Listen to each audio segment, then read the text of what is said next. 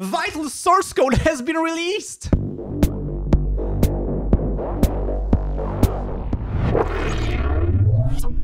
Hey, I'm unfa. I'm an electronic music producer and sound designer, but I only use open source software and Linux. Today, I'm bringing you the exciting news that Vital, a cutting-edge wavetable synthesizer plugin released in December 2020 for Windows, Mac and Linux, today has been open sourced. Vital has been created by Matt Tytel, who's also responsible for a popular open source synthesizer plugin called Helm.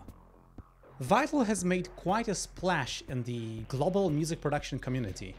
Pretty much all the YouTube channels dedicated to electronic music production has been making videos about it since the release.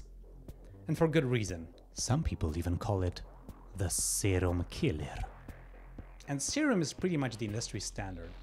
Vital is an insanely inspiring and flexible instrument. And now, today, it's been open sourced. This is a big deal. it's, it's a hot new synthesizer, a perfectly modern instrument that is available commercially, and all the producers in the world are using it right now.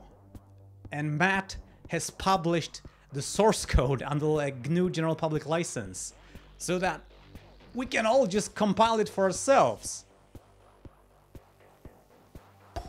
I encourage you, if you enjoy Vital, if you're thankful to Matt for this gift, support him. Let's make him not regret the generosity he's shown us. Those of you who are following my channel probably seen that I've been teasing this synthesizer for a year or two.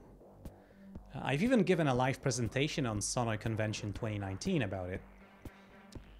And I've live streamed a detailed overview in December uh, when that was finally possible. However, I haven't been publishing any tutorials since, and that's because I've been waiting for the open source release. So I had to keep shut to not interfere with Matt's uh, development and publishing of the synthesizer. I've been teasing Vital in a firm belief that, just like Zyn-Fusion before it, it's going to ultimately be released as free software. And today, it did. Some of you did not believe me. So that's the news. Oh, one more thing. Uh, the Vital brand is a separate thing, so if you want to grab the source code and fork it, you need to rebrand the synthesizer, because uh, otherwise you're gonna infringe on Matt's IP. That's all I wanted to tell you. Thanks for watching. Also, huge thanks to all the people who are supporting me financially. And if you, dear viewer, would like to join them, please go to patreon.com slash unfa or liberapay.com slash unfa, where you can give me a buck or two every month. Now go! Grab Vital or the source code and make some music or binaries.